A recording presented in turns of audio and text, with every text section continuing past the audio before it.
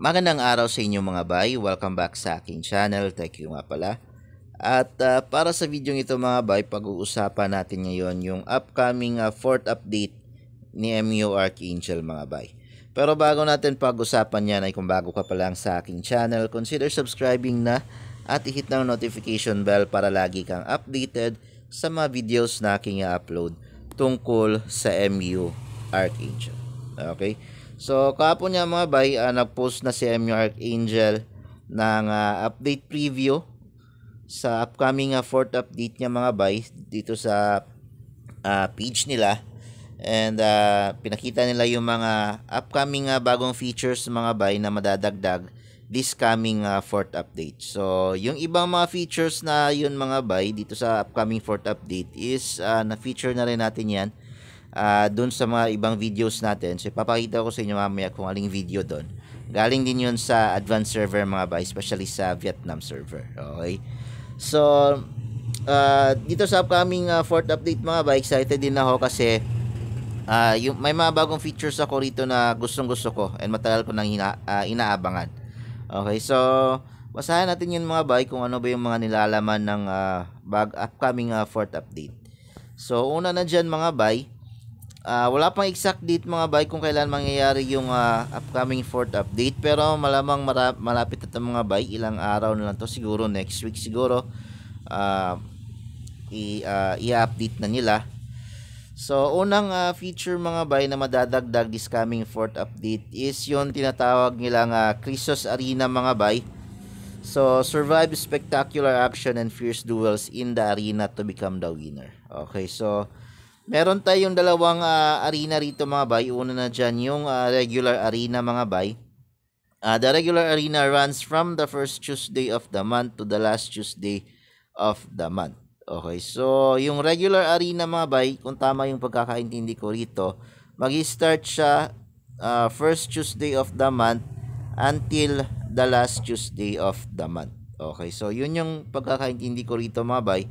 Uh, correct me na lang if I'm wrong kung mali yung pagkakaintindi ko dito kasi nakala uh, runs kasi mga bay regularly na runs from uh, for the first Tuesday of the month to the last Tuesday of the month. So you doon mag uh, uh, doon yung schedule ng regular arena mga bay. And itong regular arena mga bay is uh, by season season din tong arena mga bay.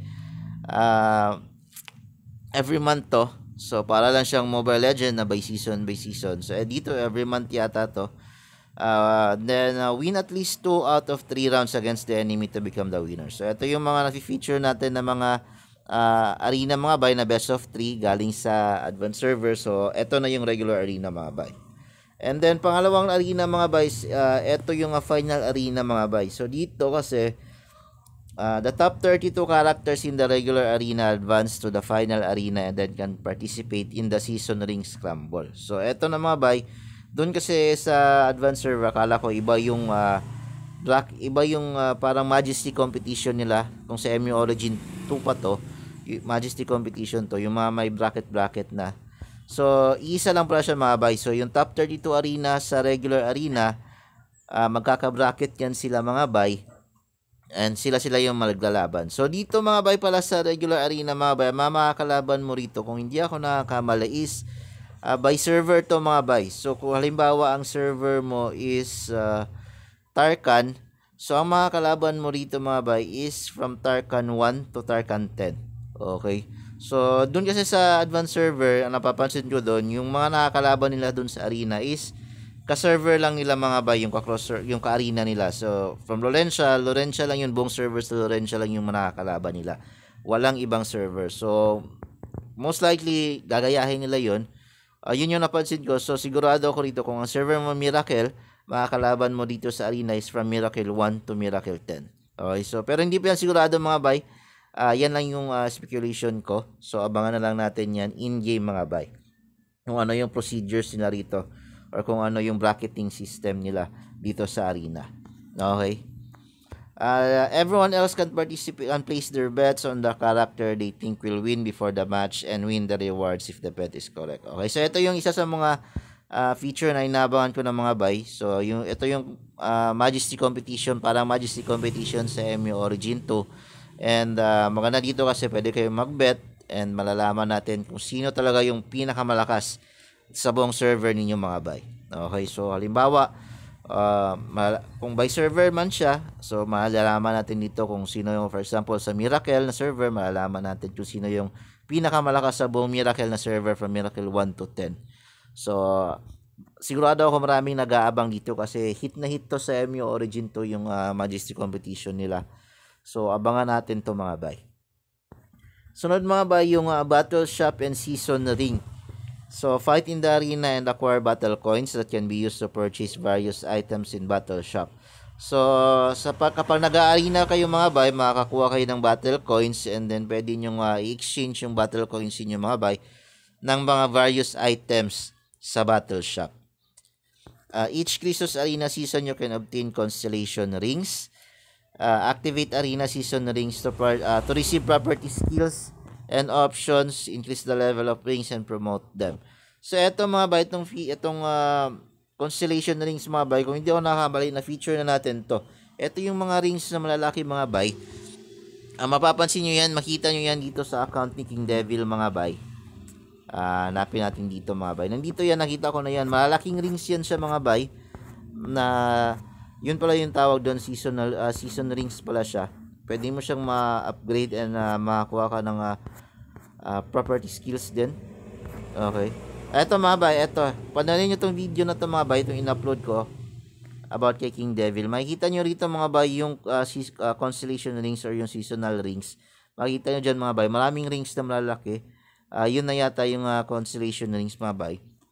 Check nyo dito mga bay. And uh, nandito din yung uh, upcoming feature nila mga bay kasama sa fourth update is kung mapapansin nyo yung suot na yan ni uh, King Devil mga bay kung hindi ako nakakamali most likely yan na yung uh, Crusade set mga bay. So isa din to sa inaabangan ko mga bay kasi sobrang ganda nitong set na to mga bay. So sa BK pa lang yung nakita ko mga bay dito itong suit-suit na to ni King Devil. Uh, malaki yung chance na yung suit na yan yan na yung uh, Crusade set mga bay kasi wala namang uh, wala na akong ibang uh, set na pwedeng masuot ng character na nakita ko aside sa gears na suot mo and then dun sa costumes mga bay. So dito mga bay, ito yung pangatlong set na pwede kong nakita. Umiilaw to mga bay, maganda to. Okay, pwede nyo panoorin dito sa video to, yung uh, video ni King Devil. So, ganda nito mga bay, yung Crusade set. So, abangan natin to mga bay uh, sa upcoming uh, fourth update mga bay. Okay. So next mga bay nila is uh, next features yung uh, Crusade equipment mga bay. So yun na nga yun. Uh, meet new Crusade equipment with powerful options and properties. Uh, you can craft a Crusade helmet, armor, gloves, pants, and boots using uh, materials. Uh, there are a total of 7 Crusade equipment parts and depending on the number of activated pieces, you can activate a powerful set options and crusade skills. So, yun na nga siguro yun mga bay. Kasi kung mapapanood nyo yung video yun mga bay, uh, yung crusade na yun mga bay, yung crusade equipment doon ni, uh, ni King Devil, yung suit niya, is color red yun siya.